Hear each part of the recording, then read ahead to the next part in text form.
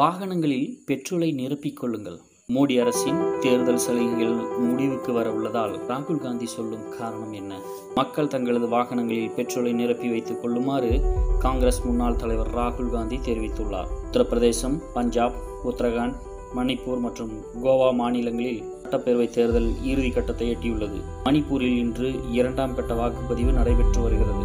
இந்நிலையில் காங்கிரஸ் கட்சியின் முன்னாள் தலைவரும் மக்களவை உறுப்பினருமான ராகுல் காந்தி. குடியரசின் தேர்தல் சலுகைகள் முடிவடைய உள்ளதால் மக்கள் தங்களது வாகனங்களில் பெட்ரோலை நிரப்பிக் கொள்ளுங்கள் என சாடியுள்ளார். தேர்தல் காலத்தில் மட்டும் மத்திய பாஜக அரசு பெட்ரோல் டீசல் விலை உயர்வை மேற்கொள்வதில்லை என ஏற்கனவே எதிர்க்கட்சிகள் குற்றச்சாட்டுகளை முன்வைத்து வருகின்றன. தன்னுடைய சுட்டறை பதிவில் ராகுல் காந்தி இத்தகைய கருத்தை பதிவு. தேர்தலுக்கு பின் மத்திய அரசு பெட்ரோல் டீசல் விலை உயர்வை அமல்படுத்தும் என எதிர்க்கட்சிகள் தெரிவித்து வரும் நிலையில்